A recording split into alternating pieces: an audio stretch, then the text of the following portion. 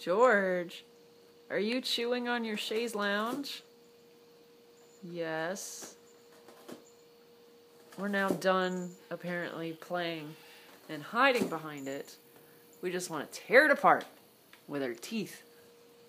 Yes, we do. So this is what we do. We shred the sucker, but only that side. You can see that this side is undamaged. Oh, except that corner.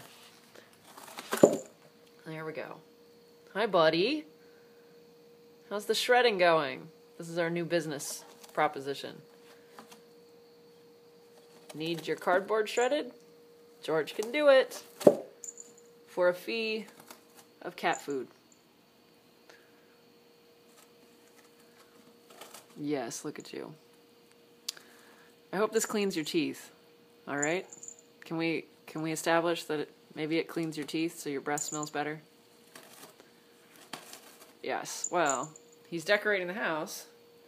If I you know, actually did normal human things like vacuum, it wouldn't look nearly like a wreck. Huh, George? Are you telling me something that my housekeeping skills are deplorable?